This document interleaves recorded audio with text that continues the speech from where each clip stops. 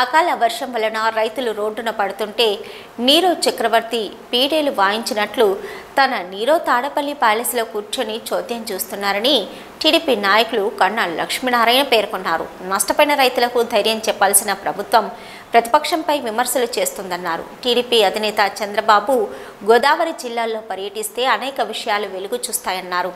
రైతును భక్షించే కేంద్రాలుగా ఆర్బీకేలు ఉన్నాయన్నారు. తడిసిన ధాన్యాన్ని తీసుకెళ్తే లారీకి పదివేలు అదనంగా వసూలు చేస్తున్నారన్నారు. మామిడి మొక్కజొన్న పంటలకు తీవ్ర నష్టం వాటిల్లిందన్నారు. నాలుగేళ్ళలో పంట కాపాడుకునేందుకు ఒక పర్దా పట్ట అయినా ఇప్పించారని కన్నా లక్ష్మీనారాయణ ప్రశ్నించారు. గత పదిహేను రోజులుగా కురుస్తున్నటువంటి అకాల వర్షాల వల్ల రాష్ట్రంలో ఉన్నటువంటి రైతులు అలో లక్షణ అని చెప్పేసి రోడ్డున పడుతూ ఉంటే ఇదో న్యూరో చక్రవర్తి కనుక రూమ్ తగలబడిపోతుంటే తన ప్యాలెస్లో కూర్చొని వయలిన్ వాయించుకున్నట్టు మన న్యూరో చక్రవర్తి తాడేపల్లి ప్యాలెస్లో కూర్చొని బయటికి రాకుండా లెక్కలేనితనంగా ప్రవర్తిస్తున్నటువంటిది మనం చూస్తూ ఉన్నాం. ఈ వర్షాలకి రబీలో వేసినటువంటి వరి మిర్చి మొక్కజొన్న తెల్లజొన్న పొగాకు పసుపు కొంత కోయకుండా ఉన్నది కోసి కళ్ళాల్లో ఉన్నాయి. ఇవన్నీ కూడా దారుణంగా తడిచిపోయి మొక్కొచ్చి రైతులు దిక్కులేని పరిస్థితిలో ఉంటే ధైర్యం చెప్పాల్సినటువంటి నాయకులు ఒక్కళ్ళు కూడా మాట్లాడకుండా ఇంకా ప్రతిపక్షాలు డిమాండ్ చేస్తూ ఉంటే ప్రతిపక్షాలు ఉద్యమాలు చేస్తూ ఉంటే ప్రతిపక్షాలని బూతులు తిడుతూ కాలం గడుపుతున్నారు తప్ప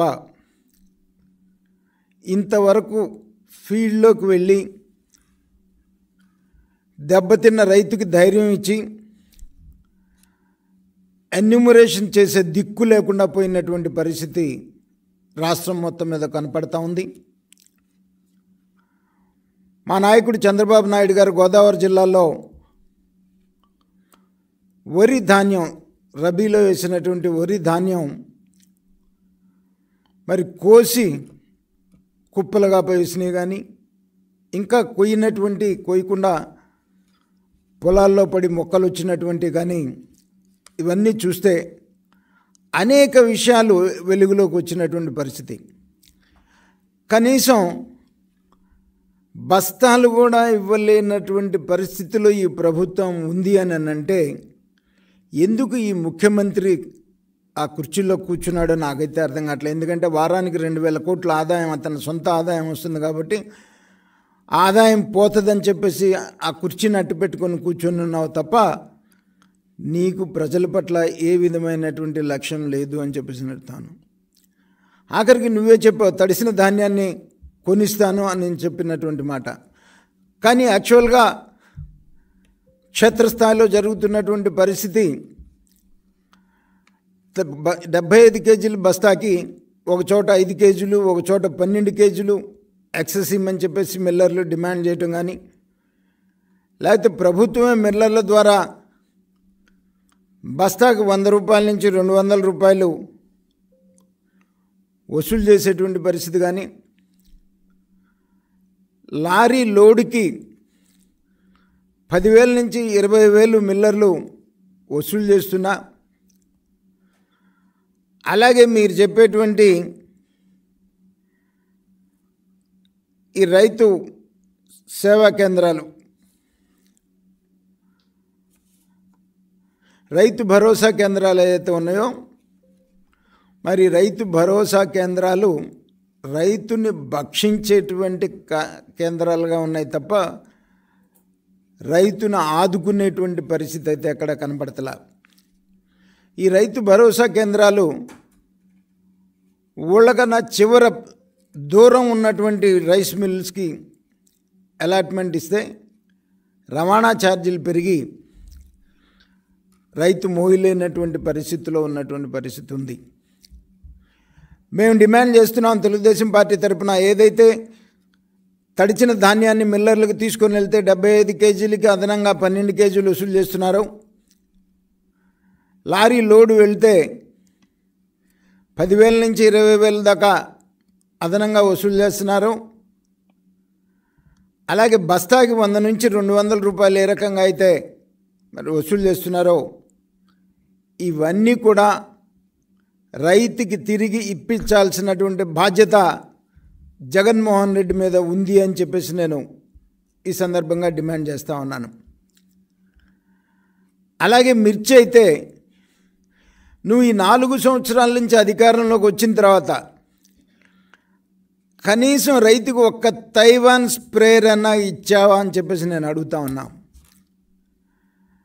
రైతుకు వర్షాలు పడుతుంటే వర్షం నుంచి కాపాడుకోవటానికి ఇంతకుముందు పట్టాలు ఇచ్చేవాళ్ళం.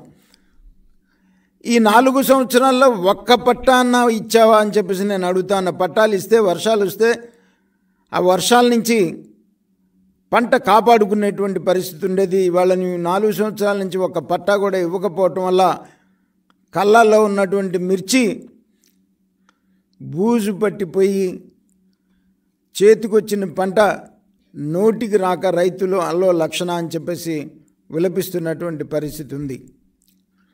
నేను ఈ మధ్య పాకాలపాడులో వెళ్ళి కొంత కొన్ని చూశాను.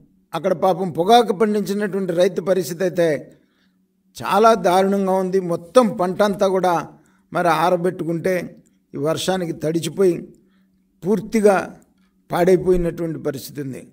అట్లాగే మొక్కజొన్న పరిస్థితి అయితే మరీ దారుణంగా ఉంది. మొక్కజొన్న కానీ పసుపు అయితే పూర్తిగా కుళ్ళిపోయినటువంటి పరిస్థితిలో ఉన్నటువంటి పరిస్థితి ఉంది. మామిడి పంట మరీ దుర్మార్గంగా సీజన్ కరెక్ట్గా ఇప్పుడే స్టార్ట్ అవుతున్నటువంటి పరిస్థితులు.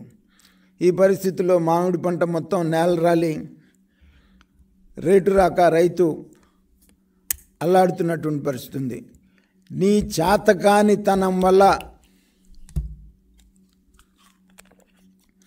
ఈ రోజున రాష్ట్రంలో రైతులు పూర్తిగా రోడ్డున పడినటువంటి పరిస్థితి. నువ్వేం చెప్పావు?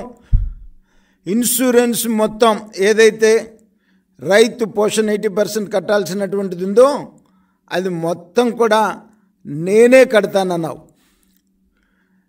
నువ్వు కట్టకపోవటం వల్ల ఈ రోజున రైతు బజారున పడ్డాడు.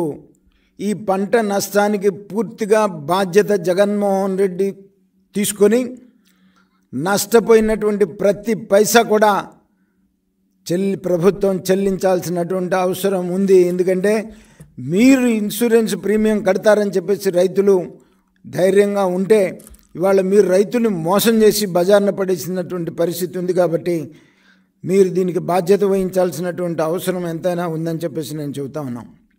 పైగా నువ్వు చాలా గొప్పగా చెప్పావు రెండు వేల పంతొమ్మిది ఎలక్షన్స్ ముందు గిట్టుబాటు ధర ధరల స్థిరీకరణ అది ప్రభుత్వ బాధ్యత దీనికి ప్రతి సంవత్సరం మూడు వేల కోట్ల రూపాయలు ఏర్పాటు చేసి నేను అది ఆ నిధి నుంచి దేని ఎక్కడ పంట గిట్టుబాటు ధరలు లేకపోతే ఆ నిధి నుంచి ఆదుకుంటానని చెప్పి చెప్పే పరిస్థితి.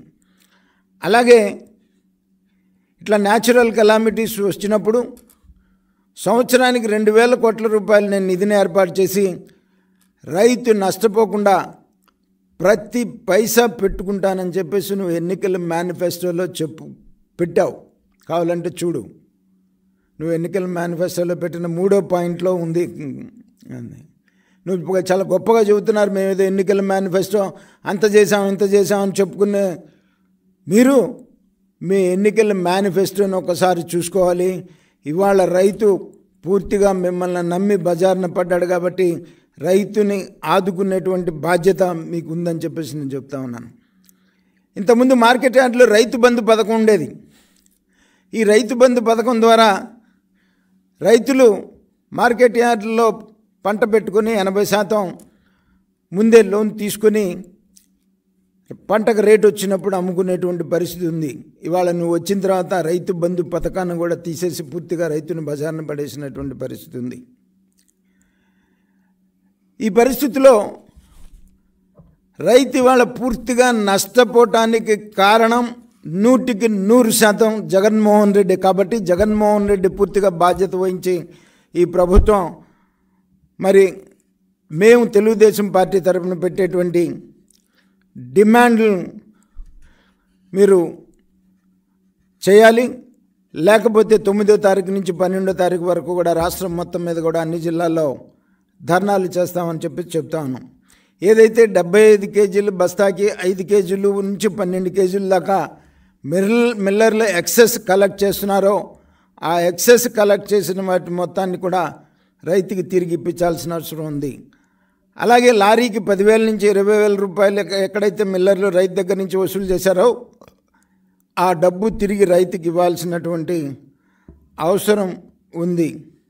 అలాగే రంగు మారిన తేమ మొలకెత్తిన నూక వంటి కారణాలు చెప్పకుండా ప్రతి గింజ ఎంఎస్పి రేటుకి ప్రభుత్వమే కొనాల్సినటువంటి అవసరం ఎంతైనా ఉందని చెప్పేసి నేను చెప్తా ఉన్నాను. అలాగే వరి మొక్కజొన్న తెల్లజొన్న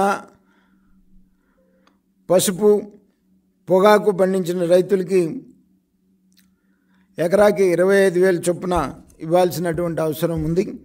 అలాగే మిర్చి అరటి మామిడి బొప్పాయి రైతులకి పసుపు ఎకరాకి యాభై వేలు చొప్పున అందించాల్సినటువంటి అవసరం ఉంది.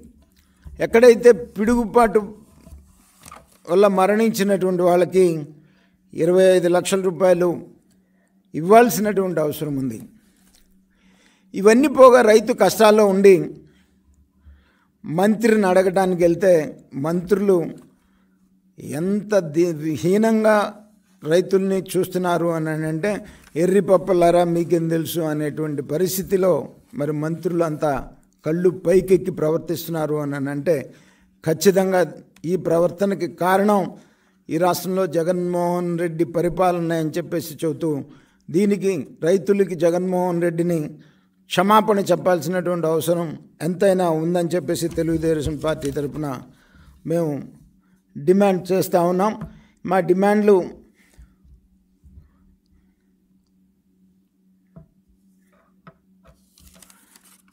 చేయకపోతే ఖచ్చితంగా రైతుల తరపున ముందుండి పోరాటం చేస్తామని చెప్పేసి మేము చెబుతున్నాం.